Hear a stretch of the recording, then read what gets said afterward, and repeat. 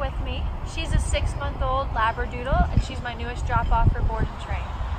She comes to us with only a couple of real big issues, the biggest being that she's really stubborn, kind of does things when she wants to do them. Other than that, her owner says she doesn't really pull too bad. She's a little bit crazy at home, but she is just a six month old puppy. Um, and she just has low confidence. So those are all things we're going to work on through the board and train process with her. As for now, let's see what she knows on day one. Thea, come. Good. Sit. Sit. Sit. Good. Sit. Sit. Sit. Sit. Thea, come. Good. Sit. Sit. Thea, sit. Down. Thea, down. Down. Down. All right. Thea, place.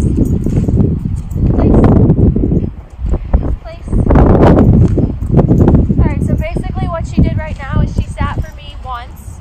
She would not sit any other time. She did not hold her sit. She didn't down. She's afraid of the place object right now. That goes along with her low confidence and that she's a little bit timid.